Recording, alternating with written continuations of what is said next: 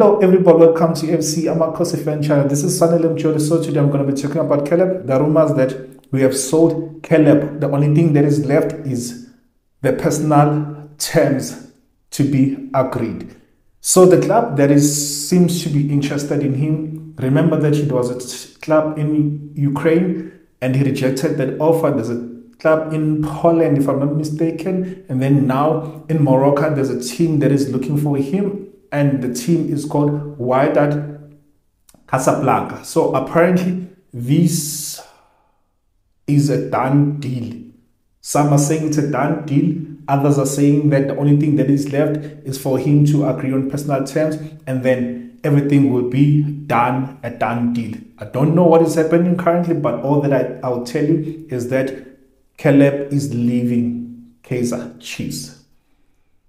He's leaving Kaizer Chiefs we don't have a striker. We only have Chivaviro. So we have a striker and a half because we have Duba. Some of you are saying that Duba is at the age that he can start games. Let's be honest. He's 18 years, if I'm not mistaken.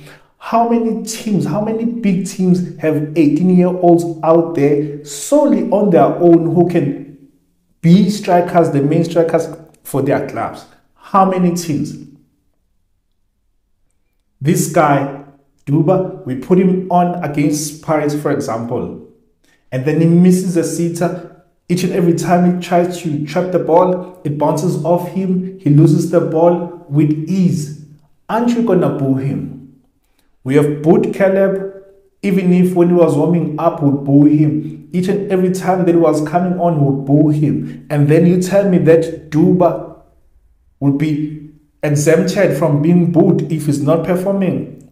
I do not know. What happens to the career of this boy? Aren't you gonna kill him if we say that he's gonna start for us and then he doesn't perform and then we're gonna boo him and when we boo him, we're gonna kill his career. Chivaviro is saying that, okay, we have Chivaviro. Chivaviro, if he's not performing or if he's injured or if he's suspended, who is going to strike for us? Who's going to be that striker? Who's going to turn those chances into goals? So I've heard someone, uh, some people saying that, you know, let's go and buy Rayners, the guy who was playing COSAFA Cup, like now. Is he a striker who can score goals for us, who can score double figures, who can score 10 goals, who can score 20 goals. Is he that striker? He, is he in the league of playing at the highest and playing for a, a, a team of Kaizer Chiefs caliber and perform week in and week out? Others are saying that no, let's go and sign Mayele. Mayele, by the way, guys, has signed five-year contract with Yanga. And you, including me sometimes, you are hypocrites. Some were saying that Nabi is not in the standard of coaching in PSL, but you yourselves are saying that Mayele is in the position or is in the standard of playing for Kaizer Chiefs. Hi guys, we can't be hypocrites like this. We can't be hypocrites like this. So, let me ask you this question. Mayele is off because he has signed five years contract and on his head they put like 20 million we're not going to go for that player anyway. So, who is that striker who's going to replace Caleb or say that he does not replace Caleb, but who is the striker who's going to fight and compete with Chivaviro? You say it's Rayners. How many goals did he score last season? How many goals did he score? How many teams has he played for? And what is his age? Come with those details with that information. Give me that information and tell me, okay, you say runners say that he's not available. Who are the top three strikers in South Africa that you know that you can go for and sign?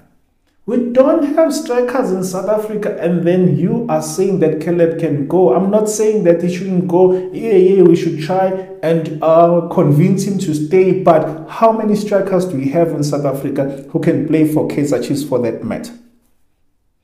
How many strikers do we have in South Africa?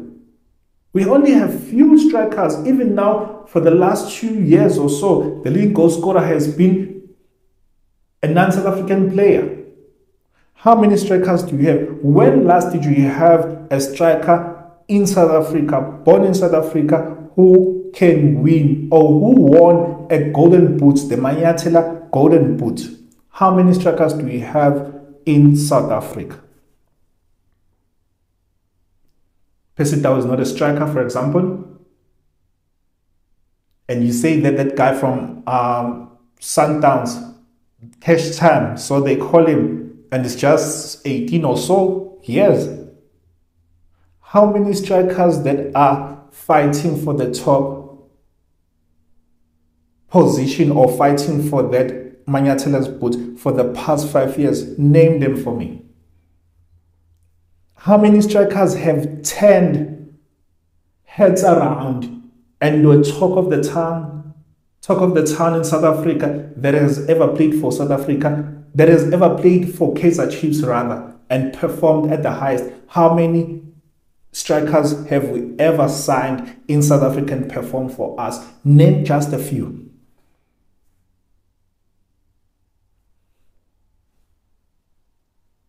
I don't know. But yeah, tell me your thoughts, guys. We don't have scouts. I mean, when last did you go and get the cream of the crop? Go scout outside of South Africa and come back with a striker, a prolific striker, a leader striker. When last did you go and get a player overseas in these countries, in Africa, wherever that has come and be the cream of the crop and be a starter in South Africa or for Kaizer Chiefs for that matter. How many players have we scouted? When last did you get uproot your Jabu Pule, your Scapi Malats, uh, your Jabu Pule, your Junior Khanye? When last did you go out and get those players that are not known, even locally? Foreign countries, how many players have we signed and they have turned out to be good players that were not known? We always want to go for players that are known, players that already are established. And sure, let's go and get a striker who's been established, but who is that striker? But I do not know, guys. I do not know. Caleb is leaving. I'm gonna miss his uh, celebrations. I was gonna do his celebration and kneel here on top of my table, but yeah, I'm injured. But yeah, guys, remember that Caleb wasn't Zwane's choice initially. He came on trials. After his trials, he went back to his country. He played, and then seems as if the management said to Zwane, dude, we're not gonna get you any striker, or you're not gonna afford to get a striker anytime soon as the window is opening or as the league is opening. We're not going to be able to get you another striker. Go and get Caleb. There's nothing we can do now. Seems as if he was forced on his throat. It was Caleb was forced on Zwane's throat. I don't know. But seems as if Caleb was the management signing and not the coaches signing. But anyway, guys, tell me your thoughts. Give me three strikers in South Africa or even outside South Africa that you should go and sign. I mean, let's be realistic. Give me players, not Mayele, who's 20 million and has signed five, five years contract with Yanga. Come and give me those strikers. We need a striker who's gonna come in like fast, be quick to adjust to South Africa if we sign a striker from outside. Adjust to play for Kaizer Chiefs. Adjust and understand the system of the coach, the playing style of the coach. We need a striker as soon as possible. We need a striker as soon as possible. Because the window already has been open long ago and we have been in the preseason for three weeks or so now. So who's the striker we're gonna sign? Then instantly he makes his mark. I don't know. Tell me your thoughts, guys. Remember to like, to comment, subscribe, share. Guys, don't just consume, but please subscribe. Thank you so much. I appreciate you. All the best. Take care. Have a blessed week. Thank you. Bye.